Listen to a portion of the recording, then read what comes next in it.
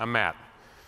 Um, so I'm here today to, to, to talk about some uh, stories I've collected over the years. I'm a designer, a scientist, and a maker, and I started my career working at design consultancies around the Midwest before joining Medtronic and currently work at 3M as a design research principal. I live in Lake Elmo with my family, 10 chickens, a bunch of bees, and a lot of trees. My uh, background's in product design as well as uh, psychology, human factors, and gerontology. So I try to bring that perspective and try to focus on the intersections between people and technology and look for ways to improve those experiences. I've spent the last 10 years or so studying healthcare specifically, and I've had the opportunity to visit homes and dental clinics, operating rooms and ICUs, and talk to administrators and clinicians as well as patients and other stakeholders as they navigate this increasingly complex uh, healthcare system we're all familiar with. And my job is, is, to try to imagine the future and kind of predict where uh, 3M should be positioned to, to deliver value in that future. And we do this with qualitative research, creating storyboards and concepts that we test and, and refine with, with our customers and, and internal stakeholders. So, what does that future look like? So, we all know the healthcare system today is challenged, right? We spend more money, uh, our outcomes aren't where they necessarily could be. And uh, there's an increasing sense of frustration with the cost and complexity of these systems. But as a designer, I feel like we can't just give up and throw in the towel, right? So my job is to ask this question how might we uh, start to address and, and find a path, better path through these uh, challenges? And when I ask these questions to some of the, the people I have the opportunity to work with, I get two very different perspectives and points of view about uh, where the future lies. And the, the first point of view I want to share comes from the administrators. All right, these are the, uh, the, the managers, the infection preventionists, the C suite executives, and they're looking at this from the top down and, and looking at that bottom line. Um, they're, they're trying to make sense of all the, the data, trying to predict and uh, deliver the greatest value to their stakeholders. But they're challenged by how many variables they have to manage and to try to find and make sense of the, the, the puzzle they have in front of them. So they're looking for consistent, quantifiable data that will help them make sense of, uh, of, the, of the best path to the best outcome. And the most common root cause they identify is the human element, the unpredictable human. The second point of view uh, comes from some of those humans in, in, the system, the clinicians. So the nurses and the surgeons and technicians, they're, they're trying to navigate this environment, but they're seeing it one patient at a time uh, from the bottom up. They're really the grassroots of healthcare and measured their success one patient at a time. And they're overwhelmed by the same checklists and paperwork and training and demands for compliance that the administrators need to try to make sense of this big, hairy problem. And so they're spending more time with computers than they are with patients and clinical teams. And it's making it harder and harder to provide the kind of personalized and holistic care that they know that their patients deserve. When I talk about the future with the administrators, they tend to be excited about the potential for technology to make sense of it. If we have smart connected devices, a free flow of data throughout the system, smart systems can, can look at that big pile of data and make sense of it and find the precious few things that will deliver the most value. They see a future where the hospital basically has a brain and can constantly track and monitor what's going in, on inside and can intervene and, and, correct course and recommend best practices, uh, delivering the best products and processes and people to, uh, to the patient's need for the best value and outcome. I remember one executive from a West Coast uh, health system who uh, I was talking to and said, You know what I really need? Robot doctors.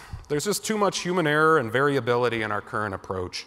Humans are just inherently unpredictable. Not surprisingly, when I talk to clinicians, uh, this, this vision is not nearly as appealing, and I hear a lot of skepticism. Uh, they don't believe a computer could ever replace the critical thinking of a clinician. They've seen firsthand how well intentioned so called smart systems can really impede on that human connection they desire with the patient, ignore the craft of medicine, and they feel like we're already putting too much faith in machines. Clinicians want a future where they have time and resources, where there's more investment in patients' holistic health experiences and incentives and tools that empower the patients to do more, uh, to take responsibility for their own health. It's time and resources they need to deliver the patient centered care that will bring order to this chaos. And I remember a, a nurse that I talked to at a, a small hospital in Rochester, Minnesota. Um, and she patiently listened to my grand vision of a technology enabled future, uh, then stopped me and said, I'm sorry, these are all really nice ideas. But what I really need is more time and another nurse in my schedule, not VR goggles and an automated checklist. So, where's the balance? How do we leverage and reconcile these disconnects? And how might we augment humans instead of replace them? How might we help machines be more human? And how might we help technology deliver the promise while mitigating some of the risks that come with it. So, not surprisingly, maybe, I see designers as having a great opportunity and role in reconciling these uh, disconnects. We focus on building empathy and then collaboratively building solutions, then testing them and iteratively refining them with the customers in the context of use. It's all about engagement and augmentation, not exclusion and automation. So, why design? Well, we're inherently user centered and holistic thinkers. We're comfortable working within constraints, and our ideas have to be desirable, they have to be economically viable, and the technology has to work. And further, they have to succeed in the marketplace, or else it's just a good idea that didn't go anywhere. So, if we can leverage technology and bring actionable information and insight to the right people at the right time, I think we can preserve that human connection and offload the menial tasks to the machines leaving time and resources for the personal and holistic care that our patients deserve. We've got the resources, we've got the technology, so let's co create that transformative future we all deserve. Thank you, Matt. Thank you. Maybe robot executives is the way to go. Hey, yeah, I'll, I'll throw that into the mix. So, sure. by the way, was, I loved your slides. Uh, less is more, but we can't let go of the fact that those were post-its and you work for 3M. 3M, yes. So subtle plug, subtle plug. Big post-it. post big post-it is on the on the case again. Okay, you're king for a day. Thank you. Done. Okay. You get to make one change to everything you were just talking about and kind of how the stuff works. What's the change you're making? Well, I think if we could find ways to, uh, and I don't have the answer, but it, since I'm king, I will force someone else to find the answer, um, to how we can break down some of the walls and some of the motivations and incentives between manufacturers like 3M and our customers, the hospitals, and uh, the patients.